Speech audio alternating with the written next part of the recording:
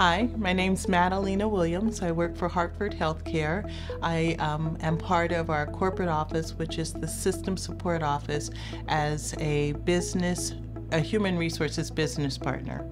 And I support our different entities across the state.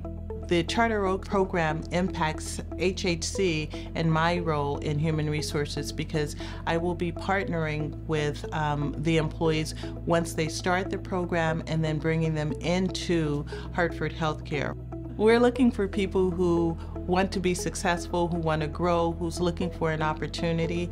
Um, so part of our relationship with Charter Oak is putting together a training program that will not only just train them in work skills, but life skills, customer service skills. When you come in as an entry level person with Hartford Healthcare, you set your own limitations. We have so many careers across so many areas that you can go into. We offer educational assistance.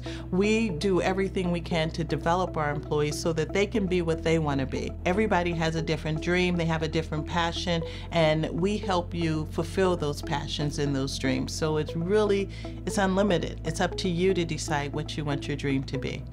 And that's what we do. To learn more, or to apply for your free Health Information Management Career Connect courses, visit workforce.charteroak.edu.